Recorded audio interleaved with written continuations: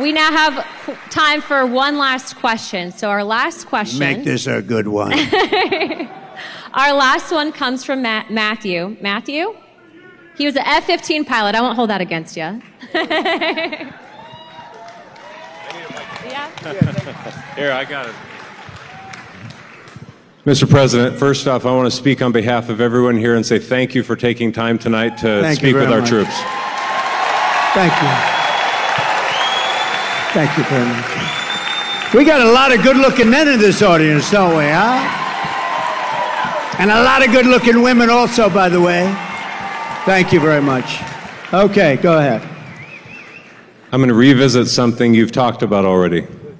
My name is Matt Lohmeier. I was an Air Force F 15 pilot, and I was a commander in your newly created U.S. Space Force. I am also the first veteran of the Space Force because under the Biden Harris regime, I was fired from my command and lost my pension for criticizing DEI trainings that were rampant in the military.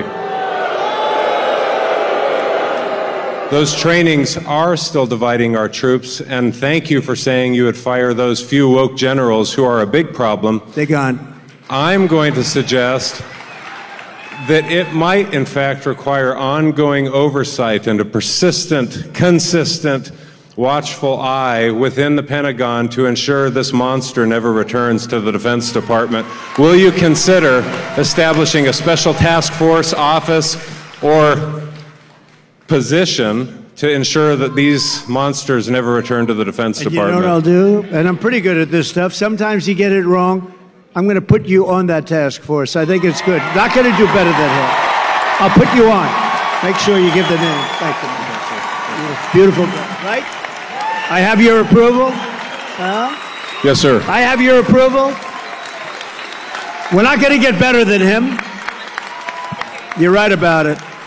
You're right. 100%. Thank you.